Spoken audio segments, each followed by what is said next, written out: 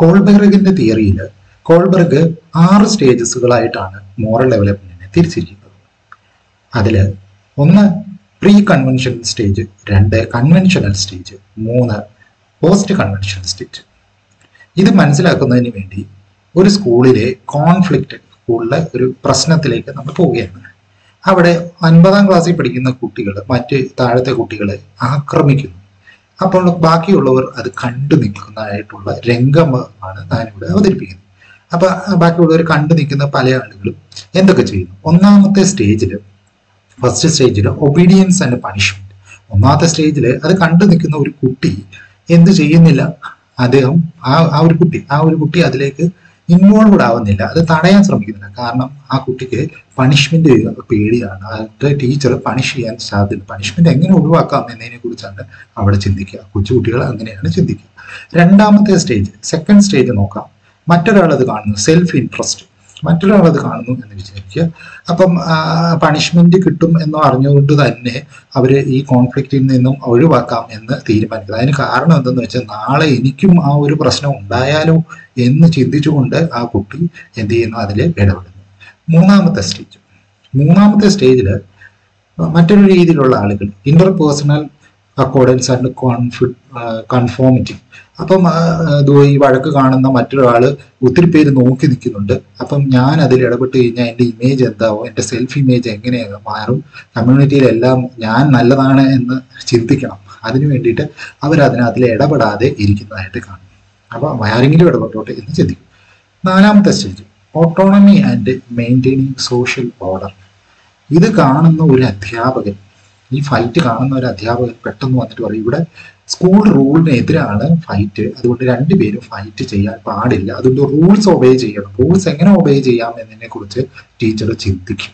ഇങ്ങനെ ചിന്തിക്കുന്ന മറ്റൊരു രംഗമാണ് എന്തെന്ന് പറഞ്ഞേക്കുന്ന autonomy and maintenancing social order എന്ന് പറഞ്ഞിരിക്കുന്ന നാലാമത്തെ സ്റ്റേജ് അഞ്ചാമത്തെ സ്റ്റേജ് പറയുന്നത് എന്തെന്നാൽ ഫിഫ്ത്ത് സ്റ്റേജ് സ്റ്റേജ് ഫൈവ് പറയുന്നത് സോഷ്യൽ കോൺട്രാക്ട് ഓർഡർ എന്നാണ് അതിന് വിളിക്കുന്നത്.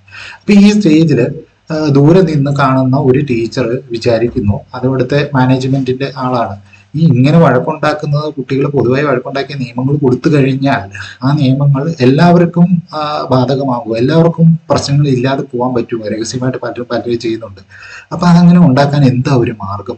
അങ്ങനെ ചെയ്യാൻ പറ്റുമോ? എന്നുള്ളത് ചിന്തിക്കും. അപ്പം അങ്ങനത്തെയാണ് ആ സ്റ്റേജ് ലാസ്റ്റ് സ്റ്റേജ് വളരെ ഹയസ്റ്റ് സ്റ്റേജാണ് യൂണിവേഴ്സൽ എത്തിക്കൽ പ്രിൻസിപ്പിൾ പ്രിൻസിപ്പാൾ അത് കാണുന്നു പ്രിൻസിപ്പാളിന്റെ മുമ്പിൽ എത്തിക്കുന്നു പ്രിൻസിപ്പാൾ അവരെ വിളിക്കുന്നു എന്നിട്ട് നിയമങ്ങൾ എന്തൊക്കെയാണെന്ന് പറഞ്ഞു കൊടുക്കുന്നു. ഇങ്ങനെ ചെയ്താൽ ഇങ്ങനെ ചെയ്യണം എന്നൊക്കെയുള്ളത് പറഞ്ഞു കൊടുക്കുന്നു. ഇവിടെ പ്രധാനപ്പെട്ട ഇതായിട്ട് എന്തെന്ന് വെച്ചാൽ പ്രധാനമായിട്ടും കമ്പാഷൻ എന്ന് പറയുന്ന ആസ്പെക്ട് എല്ലാവർക്കും ജീവിക്കാനുള്ള അവസരമുണ്ട് എല്ലാവർക്കും അവസരങ്ങൾ കൊടുക്കണം നമ്മൾ ഒരാളെ ഉപദ്രവിക്കാൻ പാടില്ല. അങ്ങനെ കുറെ കാര്യങ്ങളൊക്കെ പ്രിൻസിപ്പിൾ അത് പറഞ്ഞു കൊടുക്കുന്നു. ഇങ്ങനെ പറഞ്ഞു കൊടുക്കുന്നതാണ് ഫീലിംഗ് ഉണ്ടാക്കിയെടുക്കും. ശരിക്കും ഇവിടെ കമ്പാഷൻ അതായത് ദയനീയാവസ്ഥ മറ്റുള്ളവർക്ക് പരിഗണിക്കുക എന്നുള്ള ഒരു ആശയം വേണം. ഇതൊരു ഹയർ ലെവലിലെ ചിന്താഗതിയാണ് എന്ന് തന്നെ പറയാം. ശരി. Pre conventional level pre conventional ലെവലിലാണ് രണ്ട് കുട്ടികളുടെ കാര്യം ഞാൻ പറഞ്ഞിരുന്നു. ആദ്യത്തെ കുട്ടി പണിഷ്മെന്റിനെ പേടിച്ചു. പണിഷ്മെന്റ് വേണ്ട എന്ന് പറഞ്ഞു. പ്രീ കൺവെൻഷൻ ആണ്. രണ്ടാമത്തെ കുട്ടി എന്ത് ചെയ്തു? എനിക്കും അങ്ങനെ സംഭവിച്ചാൽ എന്ത്? എന്ന് വിചാരിച്ച് എന്റർ ചെയ്യുന്നു. രണ്ടാമത്തെ കുട്ടി അങ്ങനെ ചെയ്തു. ഇത് രണ്ടും പ്രീ കൺവെൻഷൻ കൺവെൻഷണൽ സ്റ്റേജിൽ എന്ത് ചെയ്യുന്നുണ്ട്? ഒന്ന് എന്ത് ചെയ്യുന്നത് ഞാൻ എനിക്കും ഒരു സെൽഫ് ഇമേജ് ഉണ്ട്. മറ്റുള്ളവർ എന്നെ കുറിച്ച് എന്ത് വിചാരിക്കുന്ന. ഒരു പെൺകുട്ടി വന്നില്ല. അതുപോലെ ടീച്ചർ എന്ത് ചെയ്യുന്നുണ്ട്? ടീച്ചർ എന്ത് അഡോളസൻ സ്റ്റേജ് ആണ് ആ സ്റ്റേജ് പറയുന്നത്. ടീച്ചർ എന്ത് ചെയ്യും? ടീച്ചർ പറയും റൂൾസ് ഒബേ ചെയ്യണം ആ, തൊട്ട് മുമ്പടുത്തത് ചൈൽഡ്ഹുഡാണ് പോസ്റ്റ് കൺവെൻഷണൽ ലെവലാണ് മൂന്നാമത്തെ സ്റ്റേജ് ഇത് ഹയർ ലെവലാണ് ഒരുപാട് അഡൽട്ട്ഹുഡിന്റെ ഹയസ്റ്റ് ലെവലിലാണ് വരുന്നത്. അതിൽ രണ്ട് സ്റ്റേജസ് ആണ് ഉള്ളത്. എന്ത്? എല്ലാ ജനറൽ പ്രിൻസിപ്പിൾ നടക്കുമോ? അങ്ങനെ വന്നു കഴിഞ്ഞാൽ എല്ലാവർക്കും ഉപദ്രവം ഉണ്ടാകാതെ പോകുമോ? പ്രിൻസിപ്പിൾ അവിടെ ചെല്ലുമ്പോൾ അദ്ദേഹം എന്ത് ചെയ്യുന്നു? പല നിയമങ്ങളൊന്നും എല്ലാവരും ദയനീയാവസ്ഥയായിട്ട് കാണണം എന്നൊക്കെ പറയുന്നത് ഹയർ ലെവൽ അങ്ങനെ ചിന്തിക്കാൻ ഹയർ ലെവലിലെ ആളുകൾക്ക് കഴിയും. ഇങ്ങനെ പോസ്റ്റ് കൺവെൻഷൻ ലെവൽ എന്ന് വിളിക്കുന്നു.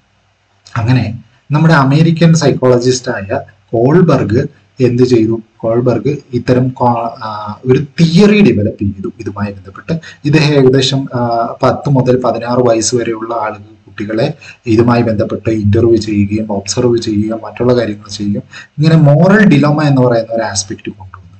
ഈ മോറൽ ഡിലോമ എന്താണ്? അതൊരു കഥയുടെ ബേസിസിൽ അദ്ദേഹം അതിനെ എക്സ്പ്ലെയിൻ ചെയ്തത് ഒരുപാട് റിസർച്ചിന് ശേഷമാണ് അദ്ദേഹം എക്സ്പ്ലെയിൻ ചെയ്തത് ഹൈൻസ് ഡിലോമ എന്ന് പറയുന്ന സാധനമാണ്. ഹൈൻസ് ഇതിന്റെ വൈഫ് എന്താ മാരകമായ രോഗത്തിൽ അടിമപ്പെട്ടു. പക്ഷെ എന്ത് ചെയ്യുന്നുണ്ട്? മരുന്നിന് പത്ത് ശതം പത്ത് കൊണ്ട് ഗുണിക്കത്തക്ക പത്തിരട്ടി വിലയാണ് മാർക്കറ്റിലുള്ളത്. അദ്ദേഹത്തിന് ഈ കാശില്ല. അദ്ദേഹം എന്ത് ചെയ്യും?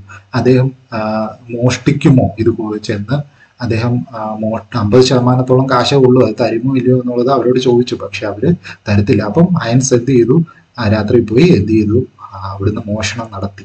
നടത്തിക്കൊണ്ട് പോകണം അങ്ങനെയാണെങ്കിൽ നിങ്ങൾ ഇതിനെ എങ്ങനെ വിലയിരുത്തുന്നു? അദ്ദേഹം മോഷ്ടിക്കുമോ? മോഷ്ടിക്കുന്നത് ശരിക്കും അദ്ദേഹത്തിന്റെ വൈഫ് അല്ല എങ്കിൽ അദ്ദേഹം അങ്ങനെ ചെയ്യുമോ? മറ്റൊരാളാണെങ്കിൽ അങ്ങനെ ചെയ്യുമോ? മോഷ്ടിക്കുന്നത് തെറ്റാണോ? കുറ്റകരമാണോ? നാളെ പിടിക്കപ്പെടുമോ? പിടിക്കപ്പെടുമെന്നുള്ള റൂൾസിനെ നിങ്ങൾ ഒബേ ചെയ്യുന്നുണ്ടോ? നിങ്ങൾ എത്ര ആളുകളാണ്? നിങ്ങൾക്ക് മറുപടി തരാമോ? അപ്പൊ നിങ്ങളുടെ രീതി നോക്കുക